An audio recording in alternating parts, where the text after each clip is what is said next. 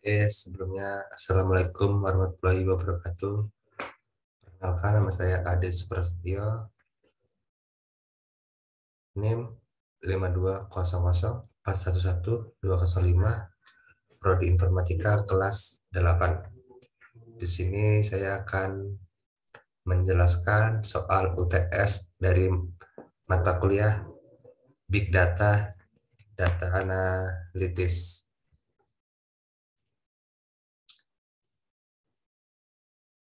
Oke.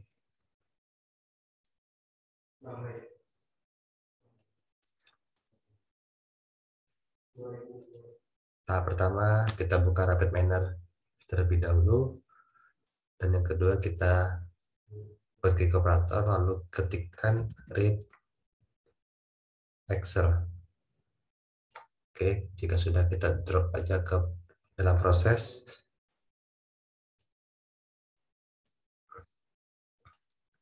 Jika sudah, kita klik kiri dua kali, lalu kita cari file dari tugas tersebut. Oke, ini data satunya. Kalau sudah, kita pilih next. Di sini kita next aja. Dan di sini pada ID, kita ubah filenya menjadi ID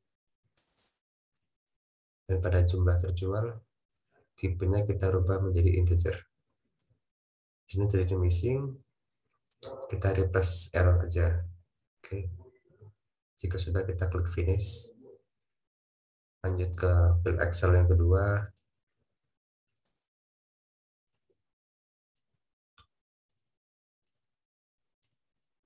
Ini datanya, kita next.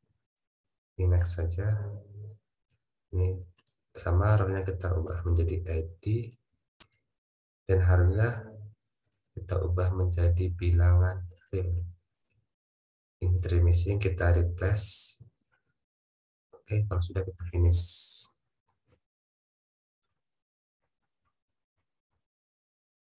Oke di sini saya akan melakukan proses processing sehingga data menjadi siap pakai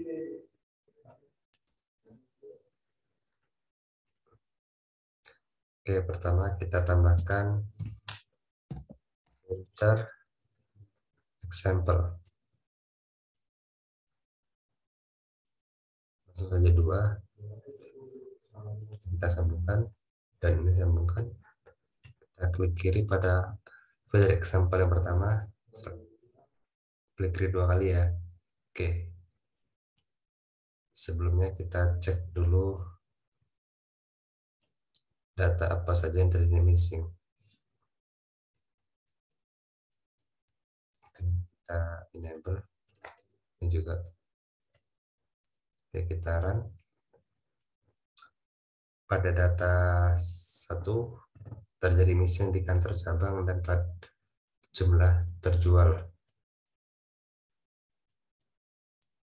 Oke, pada data dua terjadi missing pada ID seri produk, dan harga. Oke, kita ambil ke desain. Ini kita enable. Ini juga kita enable. Ini kita cancel. Kita sambungkan. Kita sambungkan. Klik kiri dua kali. Pada data satu ini terjadi missing di kantor cabang dan jumlah terjual. Ini kita pilih is not missing dan ini sama is not missing. Jika sudah kita klik OK dan untuk data kedua sama kita pilih ID is not missing seri produk is not missing dan harga. Sama juga is not missing sudah kita klik OK.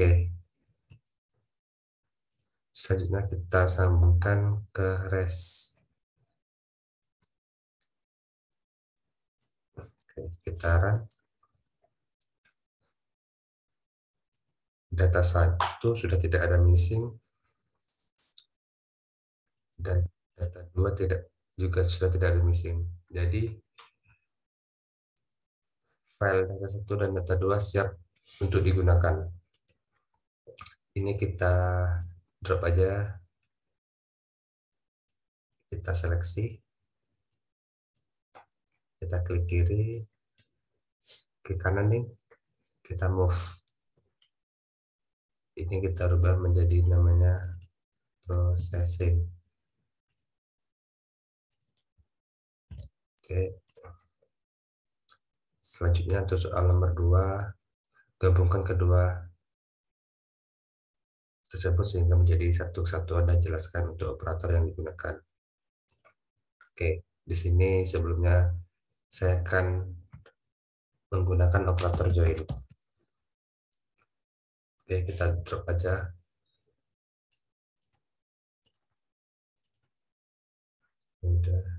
Oke. Oke, kita klik kiri dua kali. Ini kita pilih ID. Dan ini sama ID. Kita apply. Dan kita run. Oke, di sini datanya sudah menjadi satu Oke, kita kembali ke desain. Selanjutnya untuk soal yang nomor tiga. Kita akan membuat seperti ini. Jelaskan langkah-langkah saudara untuk menyelesaikan masalah tersebut menggunakan dapat manner. Oke.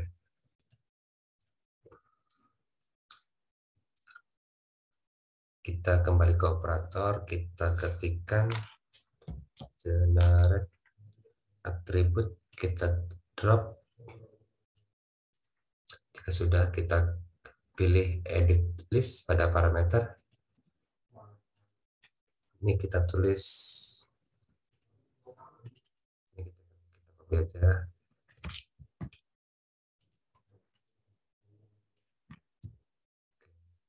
Pada functionnya kita pilih jumlah terjual kita apply. Ini sama kita apply. Jika sudah kita tambahkan operator agregat oke kita drop.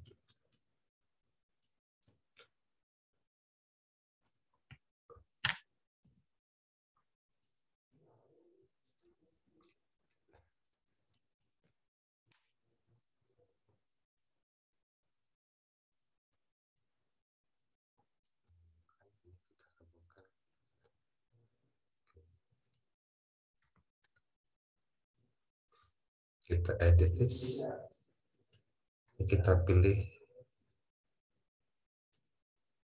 jumlah. Oke di sini salah penulisannya. Ini kita pilih sang.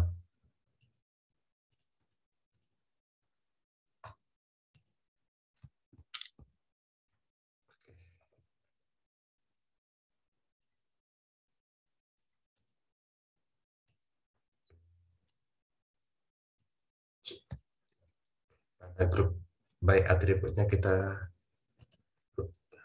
ubah kita drop jenis barang ke sebelah kanan. Apply. Kita sudah kita run.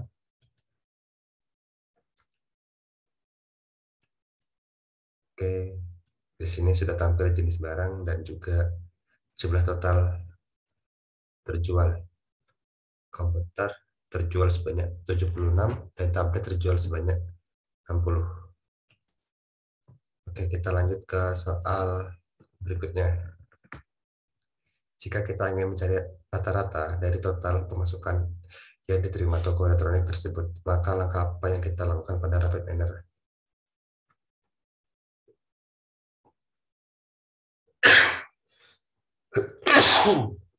Oke, mohon maaf sebelumnya. Kita akan mencari nilai yang terata dari penjualan. kita klik kiri dua kali generate atribut. Kita tambahkan, kita klik ada the entry kita tulis rata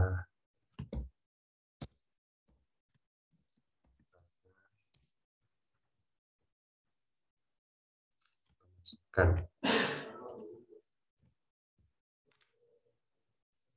pada functionnya kita pilih jumlah terjual kita kali.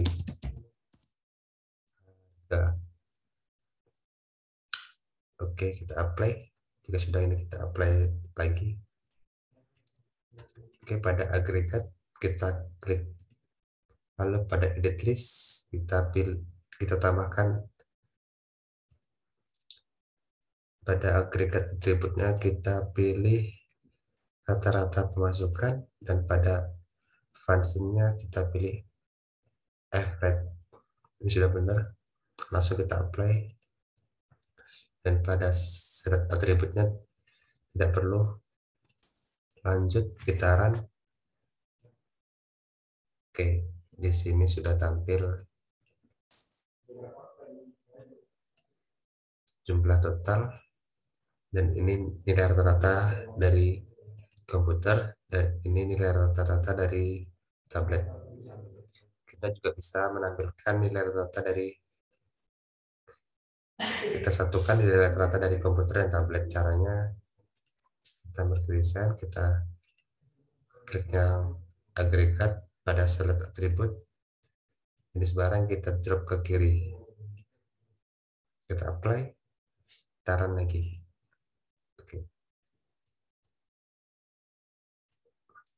Di sini jumlah total terjual dari tablet dan komputer sebanyak 138 dan rata-rata pemasukannya 219 juta 290 ribu rupiah. Oke, sekian video dari saya. Kurang lebihnya saya mohon maaf. Saya akhiri wassalamualaikum warahmatullahi wabarakatuh.